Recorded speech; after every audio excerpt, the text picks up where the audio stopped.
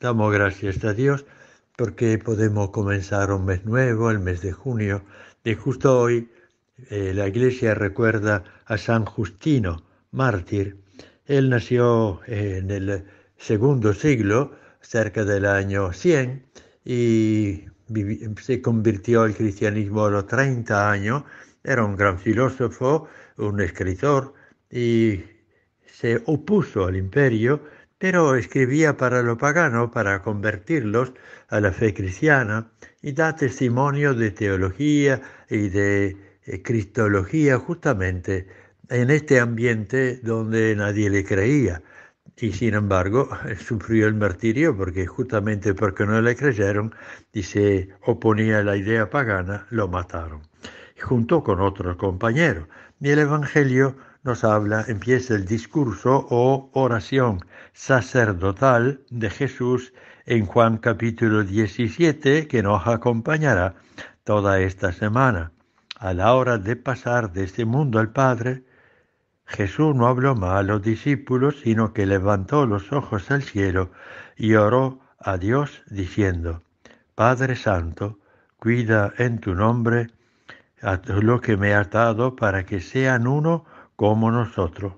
Mientras estaba yo con ellos, lo cuidaba en tu nombre, con tu poder, el nombre y el poder que tú me diste. Los protegía y no se perdió ninguno de ellos, excepto el que debía perderse para que se cumpliera la escritura. Pero ahora voy a ti, y digo esto estando en el mundo, para que mi gozo sea el de ellos y su gozo sea perfecto yo le comuniqué tu palabra y ellos han creído y me han seguido. Sálvalo del maligno. Como dice también Jesús en el Padre nuestro, líbranos del mal, líbranos del maligno. Y por ello yo me consagro para que también ellos sean consagrados en la verdad. Entonces esta oración de Jesús es la oración del que se consagra al amor de Dios para que este amor llegue a todos los corazones.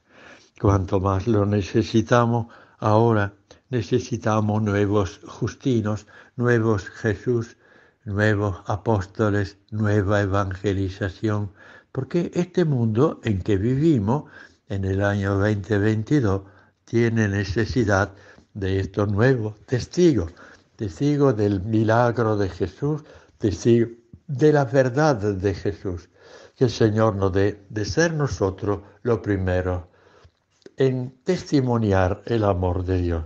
Y después, bueno, si alguien más quiere unirse a nuestro rebaño, bueno, el Señor sabrá cómo convocarlos.